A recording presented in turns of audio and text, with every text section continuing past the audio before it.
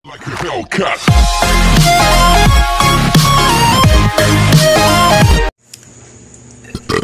Hi guys! Welcome back to my channel, Ems Ems TV.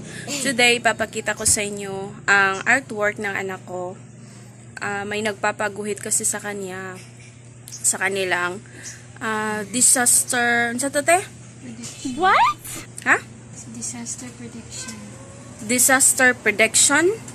Ah, poster and slogan. So, since marunong mag-drawing si Sofia, so kaya pinapaguhit siya. Ito guys, papakita ko sa inyo. Ito yun guys. Like and subscribe. Yan yung storm. Yoloy. May kidlat. Saka dito may puno. May mga tao. Ito may kamay. May tubig. waves, malalaking waves. Yan na yung ginagawa niyang slogan. Sa mga ibutangan natin, stop.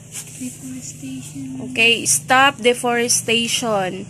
So, ito yung mensahe ng ah, art na ito to stop deforestation. So, it means na plant more trees to avoid a disaster like floods, um, landslide.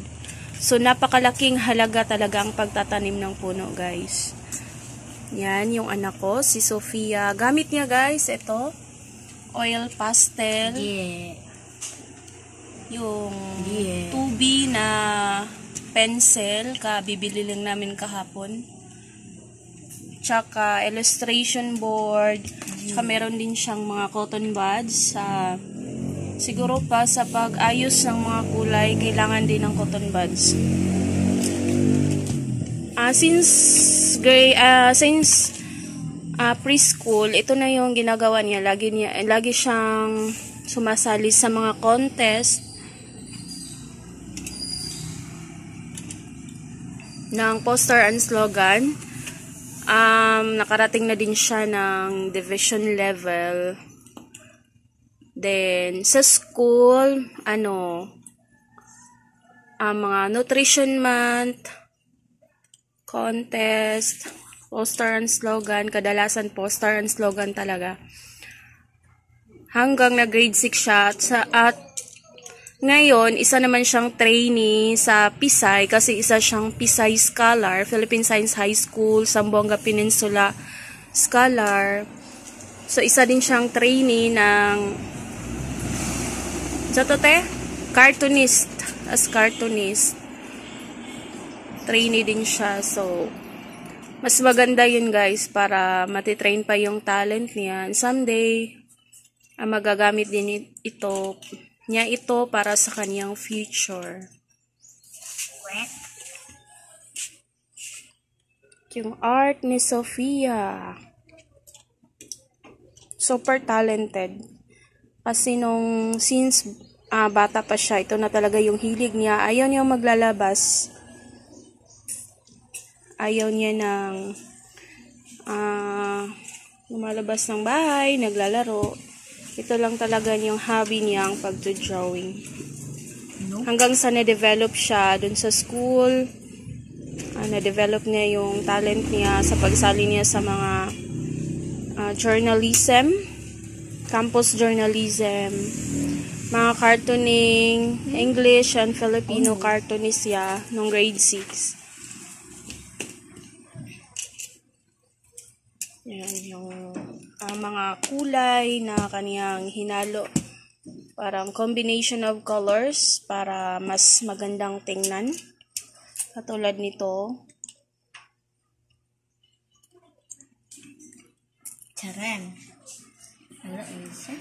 Stop deforestation. So, napakahalaga talaga ng mensahe ng art na ito, guys.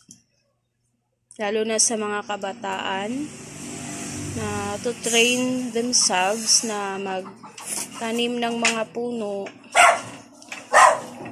para make sure na in the future hindi nila mararanasan yung mga disaster na nararanasan natin ngayon na kakaunting pag-ulan, bumabaha na agad. Sobrang ingay ng aso namin guys. Super ingay ni Sky.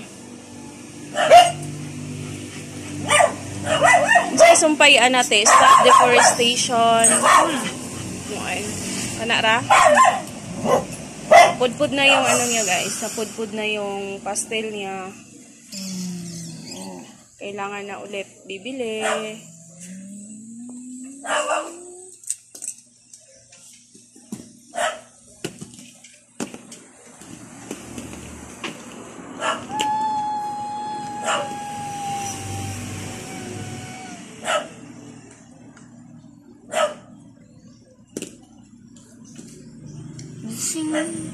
So, gumagamit na siya ng cotton buds para sa pagkulay, para ma-refine yung kulay.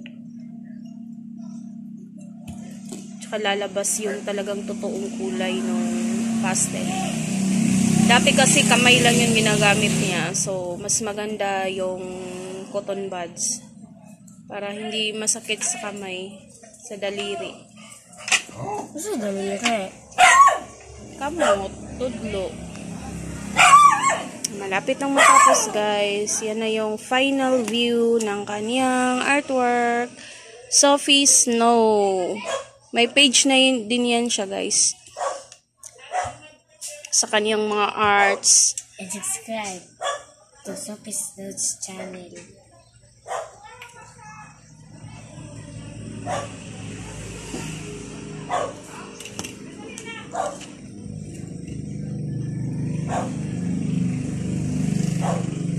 Labas. Lego.